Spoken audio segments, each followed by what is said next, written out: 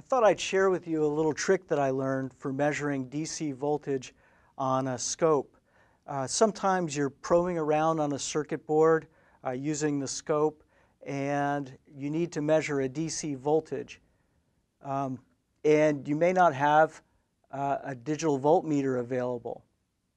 The reason it works on this scope is that the vertical position reads out directly in volts.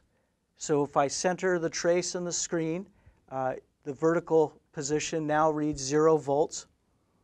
I connect my probe up to this 9 volt battery that I'm using for demonstration. And then I bring the trace down, back down to the center of the screen, and you can see the voltage across the battery is reading out on the vertical position display. It's about 8.3 volts. And I can show that again. So this is a, a neat little trick uh, that saves you from having to get up and find a DMM uh, when you're looking at uh, voltages on a, on a scope.